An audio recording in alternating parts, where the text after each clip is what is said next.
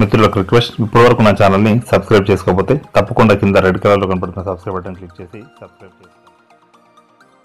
PRC అమలు చేయాలి.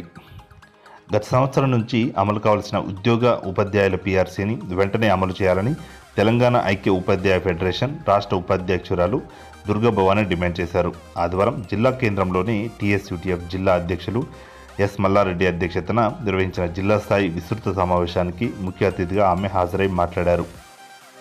PRC అమలులో జాప్యం వలన ఉపాధ్యాయులు నిరాశకు గురవుతున్నారు. సర్వీస్ రూల్స్ ప్రకటించి పదోన్నతులు కల్పించాలని కేజీబీవీ ఉపాధ్యాయులను రెగ్యులర్ చేసి టైం స్కేల్ ఇవ్వాలని డిమాండ్ చేశారు.